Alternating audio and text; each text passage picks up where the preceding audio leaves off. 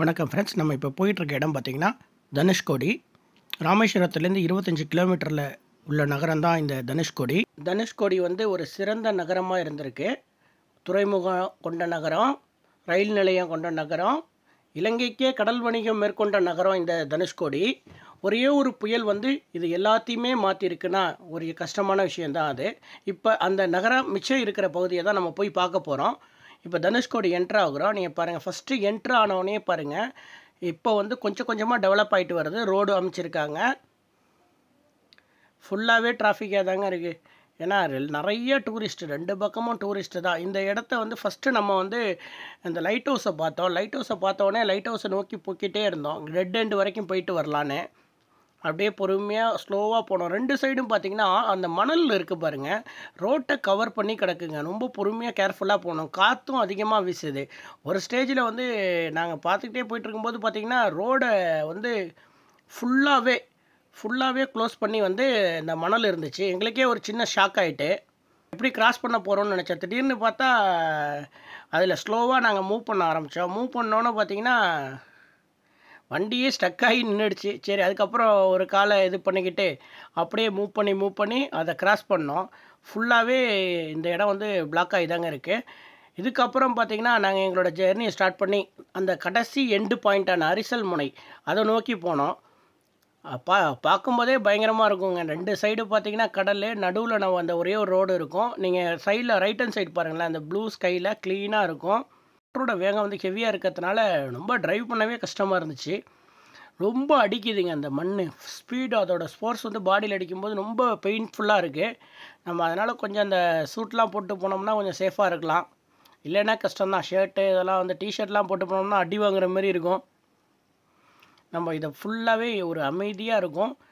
பாருங்கள் இந்த சைடு பார்த்திங்கன்னா கடலோட இது வந்து கலர்ஸ் வந்து அவ்வளோ சூப்பராக பார்க்க முடியும். அப்படியே ஒரு நல்ல ஒரு ஃபீலிங்காக இருக்கும். ஒரு ஒரு நல்ல எக்ஸ்பீரியன்ஸ் கிடைக்கும். சொல்லப்போனால் ஒரு சைடு பார்த்தீங்கன்னா வங்காள விரிகுடா ஒரு சைடு பார்த்திங்கன்னா இந்திய பெருங்கடல். அதாவது இந்தியன் ஓஷனும் பே ஆஃப் பெங்காலுக்கும் நடுவில் ஜாயிண்ட் ஆகிற இடம் தான் இந்த தனுஷ்கோடி ஆனால் வந்து நாங்கள் அந்த அதுக்கிட்ட உள்ள ஒரு ரோட்டில் போய் அந்த டெட் எண்டு வரைக்குமே நம்ம ரீச் பண்ணலாம். கிட்டத்தட்ட பஸ் சர்வீஸும் இந்த சைடில் பார்த்தீங்கன்னா நிறையா இருக்குது ராமேஸ்வரம் டு தனுஷ்கோடி அரிசல் முனைங்கிறது கடைசி பகுதி அந்த டெட் எண்டு நீங்கள் இப்போ பார்த்துக்கிட்டு இருக்கீங்களா ரோடையே க்ளோஸ் பண்ணி கிடக்கு பாருங்கள் மு பாதி ரோடு வந்து ஆல்ஃப் ஆஃப் த ரோடு வந்து இந்த மண்ணுனால் வந்து மறைஞ்சிருக்கு. அவ்வளோதுக்கு தூரம் வந்து காற்று பயங்கரமாக அடிக்குது. இப்போ நீங்கள் பாருங்கள் கடல் கிட்டே நம்ம ரொம்ப க்ளோசரில் போய்கிட்டே இருக்கோம். ஒரு சைடு நீங்கள் பார்த்துக்கிட்டு இருக்கிறது வந்து இந்த இந்தியன் ஓஷன் சைடு இப்போ பே ஆஃப் பெங்கால் சைடு வந்து இந்த இந்தாண்டா பக்கம் இருக்குது நம்ம கரெக்டாக டெட் அண்ட் அரிசல் முனை வந்து நம்ம ரீச் ஆனோம்னா அந்த பகுதியும் நம்ம வந்து பார்க்கலாம். லாஸ்ட் வரைக்குமே நம்ம பைக்லேயே போகலாம் ஓன் வெஹிக்கிளில் பைக்கில் காரில் எதில் வேணாலும் நம்ம டெட் எண்ட் வரைக்குமே போக முடியும். அது அரிசல் முனையில் அப்படியே நம்ம போய்க்கிட்டே இருக்கிறோம். ரீச் ஆக போகிறோம் எஸ் எப்படி பாருங்கள் ஃபுல்லாக டூரிஸ்ட்டு தாங்க. ஃபுல்லாகவே டூரிஸ்ட்டு தாங்க. பார்க்கவே ஒரு சூப்பராக இருந்துச்சு இடம். இந்த இப்படியே நாங்களும் ஒரு பைக்கில் அப்படியே ஒரு ரவுண்ட் வந்து கம்ப்ளீட் பண்ணோம்.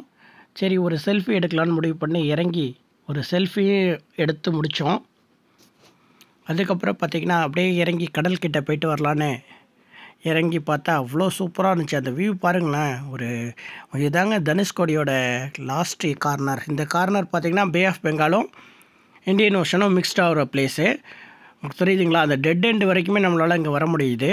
பாருங்கள் ஃபுல்லாக அந்த இறங்கி வாக்கபிள்லேயே எல்லோரும் போயிட்டு வராங்க. ஆனால் இந்த இடத்துல வந்து கொஞ்சம் கயிறு கட்டியிருக்காங்க. யாரும் இதை தாண்டி கடலில் இறங்கக்கூடாதுங்கிறதுனால. ஆனால் நம்ம இந்த இடத்துல நின்று ஃபோட்டோஸ் நிறையா எடுத்துக்கலாம். அதுக்கப்புறம் பார்த்திங்கன்னா அந்த சென்டராக உள்ளது பார்த்திங்கன்னா ஒரு நம்மளோட லோகோ வந்து அந்த சென்டரான ஒரு பிளேஸில் வந்து அதை ரொட்டேட் பண்ணுற மாதிரி தான் நம்ம வே இருக்குது பாருங்கள் கார்லாம் வந்து ரொட்டேட் ஆகி வருது. சரி அதையும் கொஞ்சம் எடுத்தோம். அங்கேயும் பார்த்திங்கன்னா நிறைய பேர் செல்ஃபி எடுத்துகிட்டு தாங்க இருந்தாங்க. உண்மையிலேயே தனுஷ்கோடிங்கிறது ஒரு சூப்பரான பிளேஸுங்க அந்த கடலில் ரெண்டு கடல் நடுவில் ஒரே ஒரு ரோடு அதுக்கப்புறம் பார்த்திங்கன்னா அந்த கார்னரில் நம்ம நிற்கிறது வந்து நமக்கே ஒரு ஹாப்பினஸ்ஸை கொடுக்கும். ஒரு டிஃப்ரெண்ட்டான எக்ஸ்பீரியன்ஸ் ஒன்றும் அங்கே ஸ்பா வேறு எதுவும் கிடையாது. இந்த ஒரே ஒரு ஸ்பாட் மட்டும்தான். இதில் பார்க்குறதுக்கே நமக்கு அவ்வளோ இது சூப்பராக இருக்கும். இந்த அரிசல் முனையில் ஒரே ஒரு ஸ்பாட் தான் இருக்கும். அதில் பாருங்கள் இந்த கடலோட இதில் வந்து கல்லெல்லாம் அதிகமாக அந்த தண்ணி வந்து ஃப்ளோ மேலே வரக்கூடாதுங்கிறதுனால போட்டிருக்காங்க. ஆனாலும் அதில் பட்டு சாரல் அடிக்கும் பாருங்கள் சூப்பராக இருக்குங்க அந்த சாரல். பார்த்தீங்கன்னா நான் அப்படியே பைக்கை அப்படியே ஓரங்கட்டி நிறுத்திட்டேன். ஹெல்மெட்லாம் கழட்டி வச்சுட்டு அப்படியே கொஞ்சம் நேரம் அப்படியே அந்த ச அலை சாரல் வந்து படுற அளவுக்கு நின்னோம். நம்மளோட இலையாகவும் வண்டியில் ஏறி உட்காந்து அந்த சாரலில் வந்து நனைஞ்சி தான் தீருவேன். அப்படின்னு முடிவு பண்ணிட்டாரு. ஏறி உட்காந்து ரெண்டு பேரும் பைக்லேயே உட்காந்துக்கிட்டு அழகாக ஒரு ஃபோட்டோவுக்கு போஸ் கொடுத்துக்கிட்டு அந்த சாரல் அடிக்கிற வரைக்கும் நின்னோம். அடித்து முடித்தோடனே அங்கேருந்து மூவ் ஆகிறதுக்கு தொடங்கி இதுக்கப்புறம் தான் ஒரு முக்கியமான இடங்கள். நிறையா இருக்குங்க தனுஷ்கோடியில் அதாவது ஒரு நகரமாக இருந்தப்ப உள்ள பல இடங்கள் அதாவது சர்ச்சு ரயில்வே ஸ்டேஷன் எல்லாமே நம்ம இப்போ அதாவது இந்த புயல் தாக்குனதுக்கப்புறம் நிறையா சேதங்கள் அடைஞ்சிருக்கு. அதாவது முற்றிலும் சேதம் அடைஞ்சிருச்சுன்னு தான் சொல்லணும். ஒரு ஒரு இடமா பார்ப்போம்.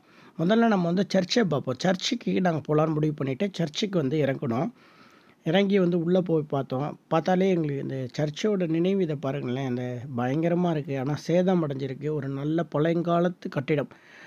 உள்ளே எல்லாமே போய் பார்த்தோம். ஆனால் நிறைய முற்றிலுமே இப்போ வந்து ஃபுல்லாகவே டேமேஜ் ஆகிடுச்சிங்க இப்போ வந்து ஒரு இந்த சைடு உள்ள செவரே இல்லை. இந்த சைடு உள்ள செவர்ஸ்லாம் பா செவர்லாம் பார்த்திங்கன்னா டேமேஜ் ஃபுல்லாக இருக்குது இந்த புயலோட தாக்கம் வந்து பயங்கரமாக இருக்குது பாருங்கள் ஒரு இவ்வளோ பெரிய சர்ச்சே வந்து ஃபுல்லாகவே டேமேஜ் ஆகிருக்கு சரி அதுக்கு பின்னாடி நடந்து போகலான்னு முடிவு பண்ணோம். பின்னாடி நடந்து போனோம்னா நிறைய கட்டிடங்கள். அதாவது நிறைய கட்டிடங்கள் பார்த்திங்கன்னா ஃபுல்லாகவே இப்போ வந்து யாரும் இல்லை. பட் ஆனால் ஃபுல்லாக டேமேஜ் ஆகிட்டு தான் இருக்குது அப்போவே வந்து அந்த புயலோட பாதிப்புக்கு அப்புறம் வந்து யாரும் இங்கே வாழ்கிறது கிடையாது. ஆனால் பார்த்தீங்கன்னா அந்த இடத்த பாருங்களேன். அந்த க கல்லெல்லாம் வந்து அப்போ உள்ள கட்டடங்க அது. அந்த நைன்டீன் சிக்ஸ்டி ஃபோருக்கு முன்னாடி உள்ள கட்டிடங்கள். எல்லாமே டேமேஜ் தாங்க. நிறைய கட்டடம் இருக்குது நாங்கள் ஒன்று ஒன்றுமே போய் பார்த்தோம். பார்த்தீங்கன்னா அப்படின்னா இது ஃபுல்லாக பாருங்கள் எவ்வளோது கட்டடம் வரிசலாக இருக்குன்னா இது ஒரு சிட்டி தாங்க இது. ஆனால் ஒரே ஒரு புயல் வந்து இவ்வளோது மாற்ற முடியுமாங்கிறது வந்து நம்ம அந்த இடத்துல போனோம்னா நம்மளே வந்து ஒரு ஃபீல் பண்ண வச்சிடும் அந்த அளவுக்கு பயங்கரமாக இருந்துச்சு. அதுக்கப்புறம் அந்த அங்கேருந்து இந்த லைட் ஹவுஸ் வியூ பாருங்கள் லைட் ஹவுஸு ஃபுல்லாக வந்து இங்கே ஃபிஷ்ஷிங்கு ஹார்பரு எல்லாமே இருந்திருக்குங்க. பெரிய விஷயங்க. ஆனால் இப்போ வந்து ரொம்ப இதாக இருக்குது ஒரு கோவில் ஒன்று இருந்துச்சு. சிவன் கோயில். நந்தி தான் அது. அந்த கோயிலோட நந்தி. ஆனால் அங்கே பூஜைலாம் நடக்குது. அந்த சிவலிங்கம் அங்கே இருக்குது அதுக்கு பூஜைலாம் நடந்திருக்கு. ஏன்னா அந்த இதெல்லாம் பார்த்தோம். நாங்கள் அப்படியே கொஞ்சம் பின்னாடி நடந்து போகலான்னு இன்னும் நடந்து போகலான்னு பார்த்தோம். பாருங்கள் ஒரு ஒரு கட்டடம் பாருங்களேன். நல்லா பாருங்கள் அந்த சிங்கிள் ஸ்டோரில் கட்டடம் வந்து எவ்வளோ தூரத்துக்கு டேமேஜ் ஆகிருக்குன்னு ஆனால் இங்கே வந்து பார்க்கவே ஒரு பயங்கரமாக இருக்குங்க. அவ்வளோ டேமேஜஸ்ங்க. அப்பா இதுக்கு அடுத்தது பார்த்திங்கன்னா நம்ம அப்படியே அடுத்தது பார்த்திங்கன்னா அந்த பழைய ரயில் நிலையம். இப்போ எப்படி மிச்சம் இருக்குங்கிறத பாருங்கள் ஃபுல்லாகவே டேமேஜ் ஆகி தான் இருக்குது இந்த ரெண்டு மூணு பில்லர் மட்டும்தான் இருக்குது அந்த பில்டிங் கொஞ்சம் இருக்குது அப்புறம் அதுக்கப்புறம் பார்த்திங்கன்னா ஹார்பர் ஒன்று இருக்குன்னாங்க. அந்த சைடு போய் பார்த்தோம். இதுக்கப்புறம் பார்த்திங்கன்னா எங்களோட ட்ரிப்பை முடிச்சுட்டு அங்கேருந்து நாங்கள் கிளம்பலான்னு முடிவு பண்ணோம். முடிவு பண்ணதுமே பைக்கை எடுத்து ஸ்டார்ட் பண்ணி கிளம்புனதும் ஒரு மைல் ஒன்று அழகாக ஓடிக்கிட்டு இருந்துச்சு. அதை பார்த்தோம். அதோட வீடியோவும் இங்கே எடுத்திருக்கோம். பாருங்கள் அடுத்தது பார்த்திங்கன்னா ஒரு ஸ்பெஷலான பைக் ரைடு ஒன்று இருந்துச்சு.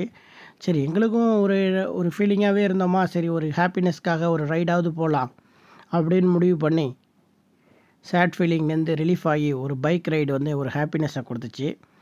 சரின்னு முடிவு பண்ணி ஏற ஆரம்பித்தோம் வண்டியில். பாருங்கள் ஃபஸ்ட்டு நானும் ரைட் போனேன்.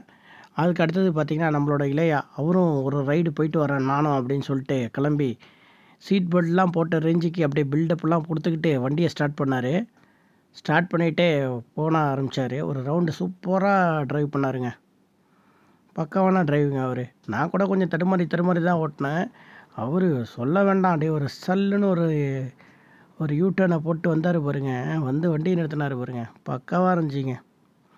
அந்த ரைடை பற்றி ஃபுல் டீட்டெயில்ஸை அந்த தம்பியே சொல்லுவாப்புல. இது வந்து தனுஷ்கோடியிலேருந்து வரதுலேயே வரும்போது வந்து ஏடிவி பைக் இருக்கு அது வந்து பைக் வச்சுருக்கோம். அது வந்து ஒரு கிலோமீட்டர் இருக்கும். நூறு பைக் இருக்குது நூற்றம்பது ரூபாய்க்கு இருக்குது ஒரு ஆளுக்கு ஒரு ரவுண்டு பெரிய ரவுண்டு ஒரு கிலோமீட்டர் போகும். அதை வந்து எல்லோரும் வந்து ஓட்டிகிட்டு போக நல்லா இருக்கு நல்லா இருக்குன்னு சொல்லுவாங்க. இதுக்கப்புறம் பார்த்தீங்கன்னா இப்போ நீங்கள் பார்த்துக்கிட்டு இருக்கிறது முக்கியமான ஒரு இடம் ராமேஸ்வரம் கோயில். வீடியோ அங்கே என்னென்ன தீர்த்தம் இருக்குங்கிற வீடியோலாம் குயிக்காக அப்டேட் பண்ணுறோம் எங்களோட சேனலை சப்ஸ்கிரைப் பண்ணுங்கள் தொடர்ந்து ஆதரவு கொடுங்க லைக் பண்ணுங்கள் கமெண்ட் பண்ணுங்கள் நன்றி வணக்கம்.